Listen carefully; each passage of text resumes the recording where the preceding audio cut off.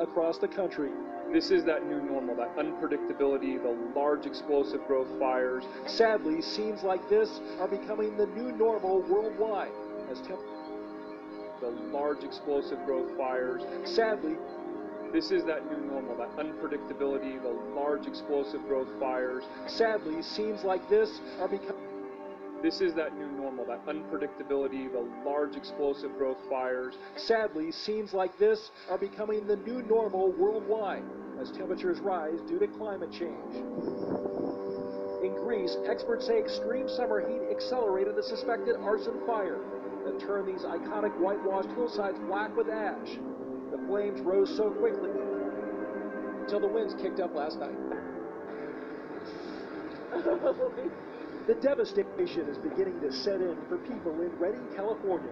The aptly named Carr Fire, which officials say was first sparked by a vehicle, has ravaged the region since Monday and doubled in size in just the last 12 hours.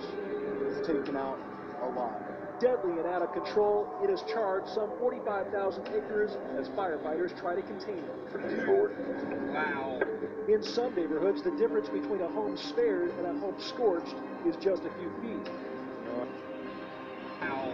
In some neighborhoods, the difference between a home spared and a home scorched is just a few feet. No idea what we're going to do tomorrow. Hell, we don't know what we're going to do tonight. Du- in some neighborhoods, the difference between a home spared and a home scorched is just a few feet. No idea what we're going to do tomorrow. Hell, we don't know what we're going to do tonight. Dominic Galvin and his wife Sylvia never imagined they'd see their house like this. We didn't think the fire was going to come here, so we didn't really take things out.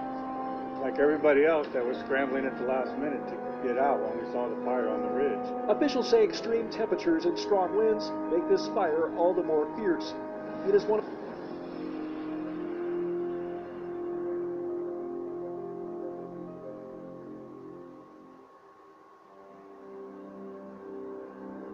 how to change the weather on purpose. That's right. Lasers now could one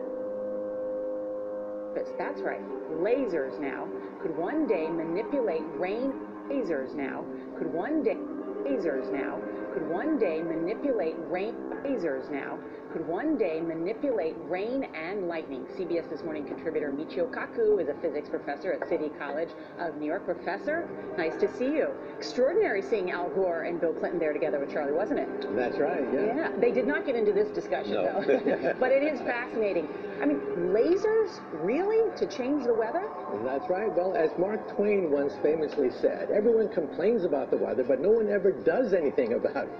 Well, instead of doing a rain dance, we physicists are firing trillion watt lasers into the sky to actually precipitate rain clouds and actually bring down lightning bolts. This is potentially a game changer. But this is experimental. It's experimental, however, in the laboratory so far it works. When you have water vapor and you have dust particles or ice crystals, you can precipitate rain. It condenses around the seeds. These seeds can also be created by laser beams. By firing trillion watt lasers, you rip apart the electrons, creating what are called ions, and these ions act like seeds, like dust particles, bringing down rain and even lightning. Go ahead.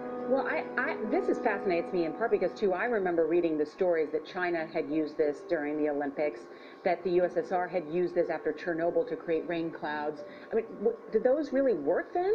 We have some of these capabilities now. Inconclusive. Even in the 60s, the CIA used this to uh, bring down monsoons during the Vietnam War, to wash out the CIA used this to uh, bring down monsoons.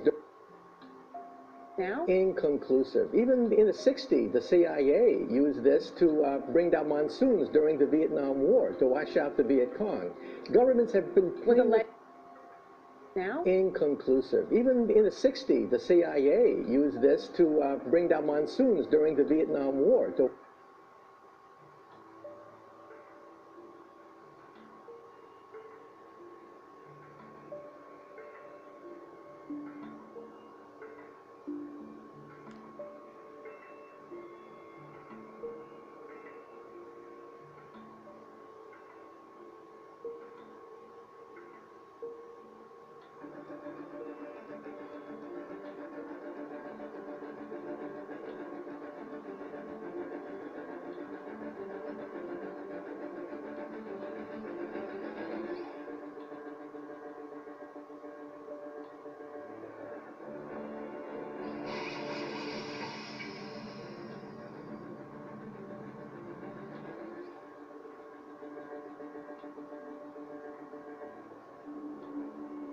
Operationally, it works uh, just like a laser pointer.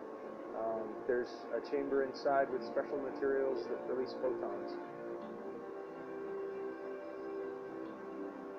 If you're looking at a, a, a boat coming in over the water, you can target exactly the engine and take out exactly the engine and not necessarily damage anything else. So, and that type of precision, anything else. So, and that, and not necessarily damage anything else. Out exactly the engine and not necessarily exactly the engine and take out exactly the engine and not necessarily damage anything else. So, and that type of target exactly the engine and take out exactly the engine and not necessarily damage anything else. You can target exactly the engine and take out exactly the engine and not necessarily damage anything else. So, oh, and that type of engine and take out exactly the engine and not necessarily damage anything else.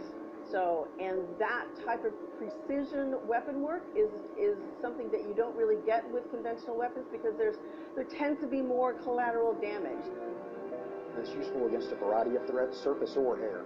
It's not a it's not a niche weapon system like uh, some other weapons that we have, you know, throughout the military, where it's only good against air contacts or it's only good against surface targets.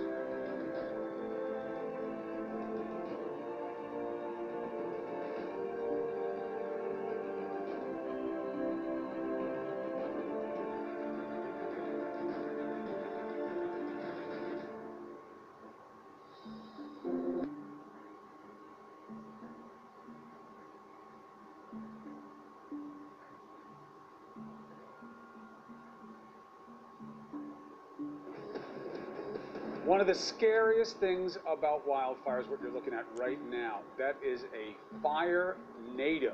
One of the big problems in fighting those wildfires out in California right now. So the question becomes, what's going on with them? They kind of look like a twister of fire, and that's because that's exactly what they are. And I'll tell you, I know personally, to be standing when one perks up is frightening, and they're tough to fight. But how do they form?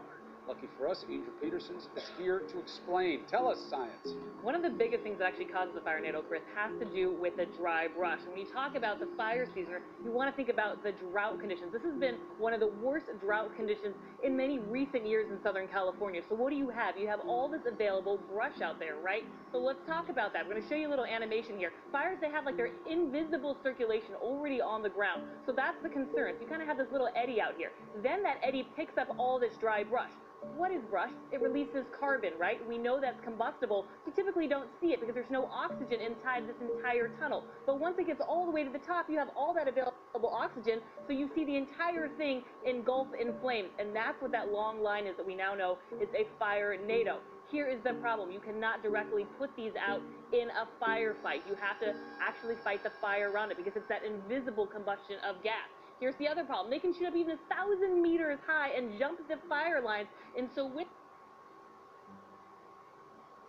of gas. Here's the other problem. They can shoot up even a thousand meters high and jump the fire lines.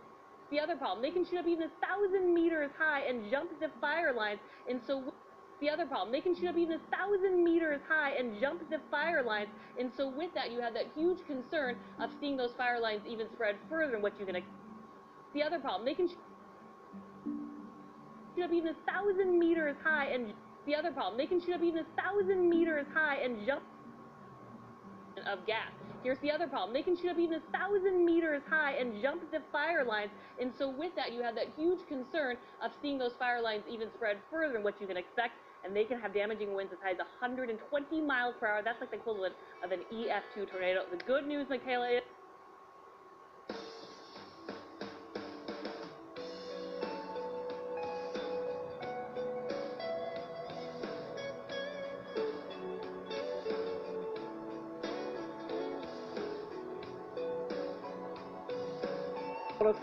major blazes burning across the state and one of 88 across the country. This is that new normal, that unpredictability, the large explosive growth fires. Sadly, scenes like this are becoming the new normal worldwide as temperatures rise due to climate change. In Greece, experts say you you only have minutes to leave, but in this case, people really were caught off guard. This started as a small brush fire on Monday. It stayed that way until the winds kicked up last night. The devastation is beginning to set in for people in Redding, California. The aptly named Carr Fire, which officials say was first sparked by a vehicle, has ravaged the region since Monday and doubled in size in just the last 12 hours.